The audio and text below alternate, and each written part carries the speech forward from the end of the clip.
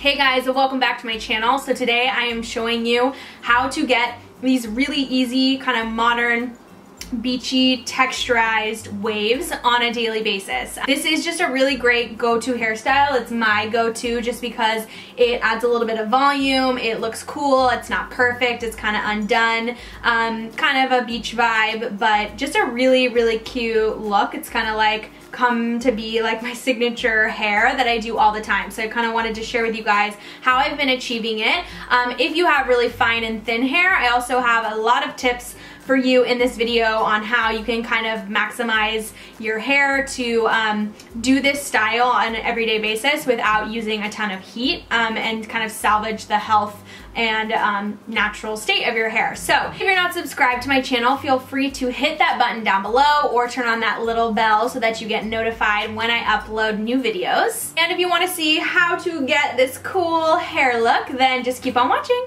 If you have really fine hair or if you have straight hair that doesn't hold a curl very well, what I have discovered lately, and this is like the best thing ever that I've discovered, is, I mean, I literally like, I have the worst hair in the world. like, it does nothing. Um, and what I've been doing is I'll shower at night. I usually shower in the morning, but I started switching my showers to nighttime. And what I'll do is take my hair, my real hair, obviously I don't have I won't have extensions in when I do this. I have them in right now. And I literally just, when my hair is wet, after the shower, I'll brush it out and I take it up all into one and I start to twist it.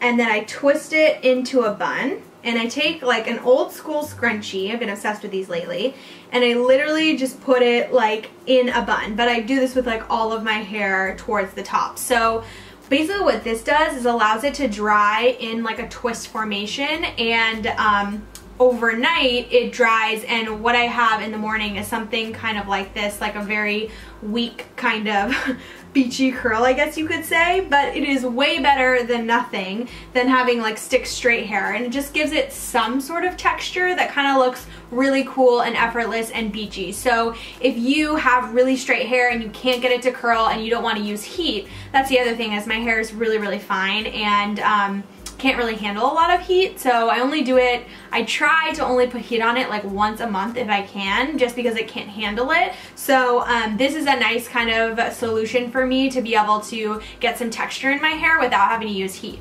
I have my extensions in and what I'm to do is just separate the hair into sections. I've applied a little bit of my Big Sexy Hair dry shampoo. This was in my top five favorite dry shampoo uh, video. If you want to check that out, I'll link it down below so that you can watch it. Um, but I'm basically just to separate my hair and sake of this video, I'm just gonna use gonna use the scrunchie. I really like scrunchies because they don't crimp the hair, which is amazing.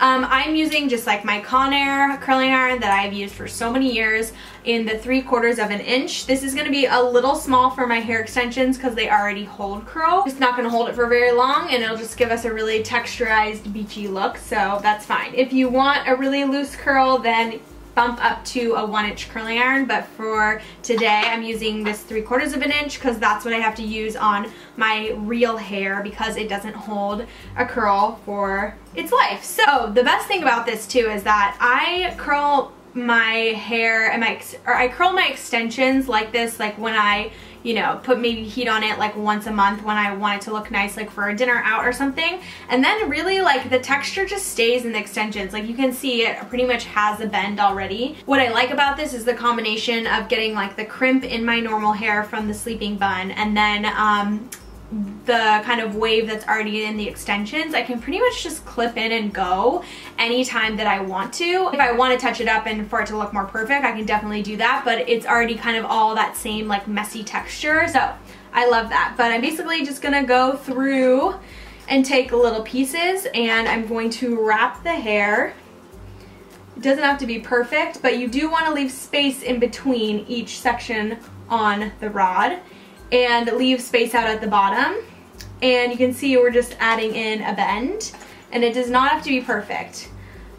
This time I'm gonna go forwards towards my face because I don't want all of the curls to go together or else they're all gonna look too uniform and what we want is like a really beachy like texturized look. So make sure you're doing each section kind of a different way and it definitely doesn't have to like be precise like you're literally just running heat on it so it can get like kind of a messy bend that's how you get that really like ununiform look these sections can kind of be bigger because um, you're really just trying to get a little bit of bend in the hair. How fast was that? It was so fast. Make sure you're leaving, I don't know, two, three inches out at the bottom.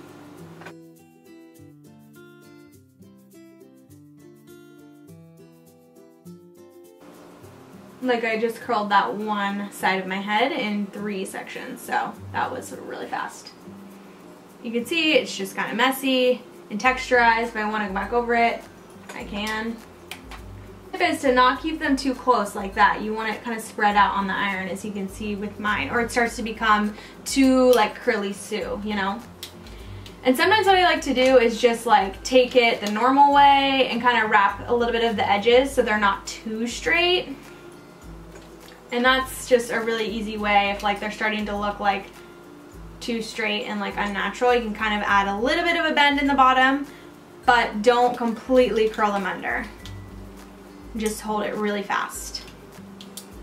Boom. And basically same thing for our normal hair, but my hair is really, really fine and thin, so it doesn't hold or curl that well. I mean, you can see the extent of the texture that I get. I get a little bit in the bottom of the hair, but not much up top. So I'm literally just gonna wrap it, and I may have to hold this a little bit longer than like my extension hair, um, just so that it can hold on to the um, you know, the bend a little bit easier, but I really just want it like not that curly. It's supposed to actually just kind of look like messy and bent forward. And these are probably like two to three inch sections worth of hair. They're kind of on the bigger side, but this is how you keep it really fast and um, quick.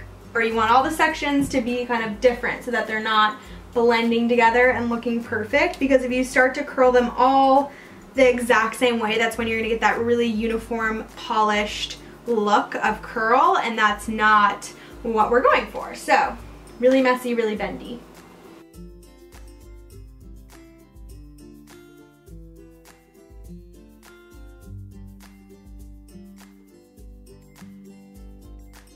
And then I'm going to go in with the Living Proof um, Firm Hold Hairspray. And I'm just going to be spraying like my real hair just to give it like a little bit of grab.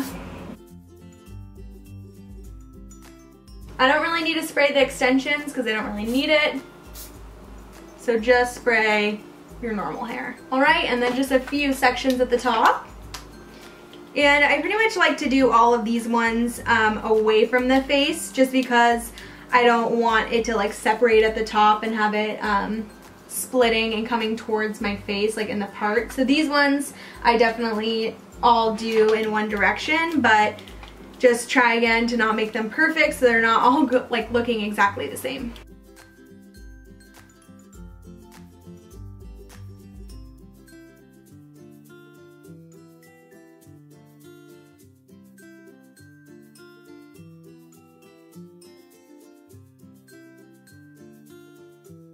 All right, easy peasy. Gonna give it one more spray on the top layer. You can kind of hold it out and spray it so it gives it more volume. Alright, and then I'm just to tease at the root just a tad because my hair gets really flat at the root. Alright, and then I'm not really to brush through a ton. I just, any areas that look kind of like crispy are like chunky. Alright you guys, I hope you enjoyed this hair tutorial and tips on how to get these really texturized kind of messy waves even if you have really straight hair or really fine hair or thin hair. Um, it's like a really nice just like everyday look, gives you a little bit of volume, it looks really cool and just a really easy wearable hair look that looks modern and fresh. So if you like this, please give it a thumbs up or let me know what you thought in the comments down below and I'll see you guys in the next video. Bye!